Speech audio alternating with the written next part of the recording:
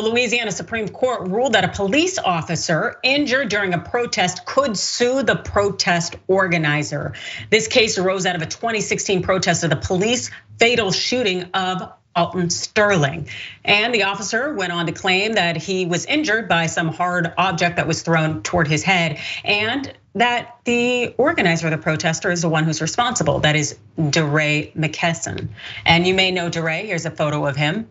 He has been involved in a lot of Black Lives Matters conversations as well as possibly facing liability here. And what the majority opinion, it said in concurring part, it ruled that because it's alleged that McKesson with knowledge that such protest could turn violent, stage a protest in direct contravention of law, thereby provoking the police to respond, a person can easily associate the injury to the police officer with the alleged conduct. And this decision was six to one, with one lone justice out there at the Louisiana Supreme Court recognizing how dangerous this could be for First Amendment rights when it comes to protests. And so this justice here in the dissent wrote this.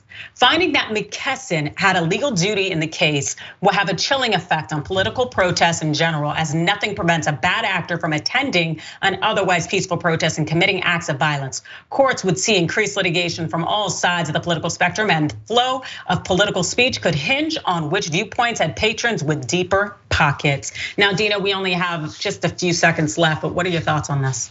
I mean, this state law in particular is so so bad. So it might require the legislation to be overruled. But it, it will also, I think, be very hard to prove that this object came from somebody within that protest. So although it did go down to the lower court, uh, my hope is that they do not prevail, so this does not become a precedent, because otherwise it is very dangerous for future protests in the First Amendment. Absolutely. And the fact that they have that Louisiana Supreme Court decision out there interpreting that state law can be very problematic uh, in the state of Louisiana when it comes to protesting uh, any kind of injustice and civil rights issue. Uh, but we hope that people are not silenced and they continue to use their voices